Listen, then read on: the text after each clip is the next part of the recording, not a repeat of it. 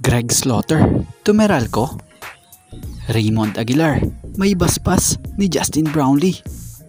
At bago nga ang lahat, baka naman po po pwedeng makahingi ng isang subscription para sa ating channel or pakifollow na rin po kung nagustuhan nyo ang ating mga basketball update.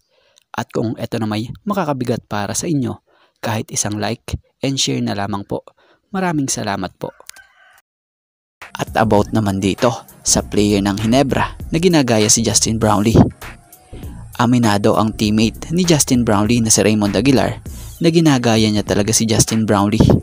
Makikita mo naman sa forma, pati sa sleeves or suot-suotan niya. Aminado nga si Raymond na pati buhok nga raw ni JB, ginagaya niya. So, ginaya ni Raymond Aguilar si Justin Brownlee dahil idolo niya nga raw po kasi ito at wala nga raw makakabura nun. Ang maganda pa nga po sa ginawang ito ni Raymond Aguilar, may basbas ni JB dahil alam nga raw po ni Justin Brownlee yun dahil sa nagpaalam nga raw po siya kay Justin Brownlee. So pabor naman tayo dyan dahil maganda naman yung ganon dahil kung may iniidolo ka talaga sa isang team, ito'y makakatulong sa kanya para magpabus lalo ng laro niya para makatulong sa team. So mukhang may 7-footer big man na naman tayong matutunghayan muli sa PBA ah. Dahil may mga lumabas nga na balita o rumors na gaya na lamang sa post nitong si Pilipinas Basketball na ayon rito the Meralco Bolts are interested in acquiring Greg Slaughter if his contract with the MPBL ends, signaling his potential return to the PBA after playing in the MPBL. So kamakailan nga lang eh usap-usapang nababalita ang posibilidad na pag-alis ng team nito sa MPBL.